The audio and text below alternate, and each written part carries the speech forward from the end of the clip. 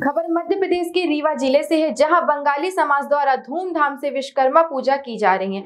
वहीं आज रीवा के सराफा मार्केट में बंगाली समाज द्वारा विशाल भंडारे का आयोजन किया गया है, जिसमें सैकड़ों भक्तों ने भंडारे का लाभ लिया। आपको बता दें कि बंगाल समाज द्वारा विगत दस वर्षों से मूर्ति स्थापित कर विश्वकर्मा पूजा की जा रही है।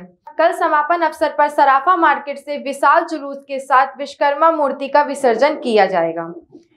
संतोष सोनी। भंडारे का आयोजन किया गया है? जी ये भंडारे की जो मतलब चल रहा है अभी ये ग्यारह बजे से चल रहा है और अभी अर्धरात्रि तक चलेगा अभी।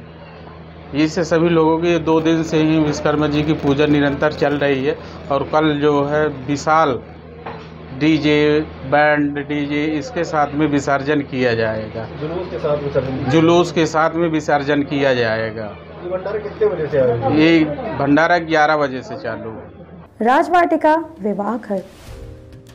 सर्व सुविधा युक्त प्राकृतिक सुंदरता से ओत प्रोत।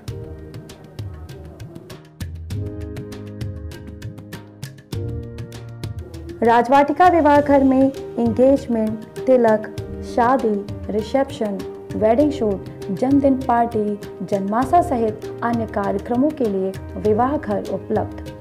अपने मांगलिक कार्यक्रमों को यादगार बनाएँ शहर के मध्य वातानुकूलित राजवाटिका मैरिज गार्डन के साथ। हमारा पता है, Rajvatika marriage garden, national highway Jula मोड़, भुंडहा, रीवा। अधिक जानकारी के लिए संपर्क करें nine eight two seven zero zero four two five one.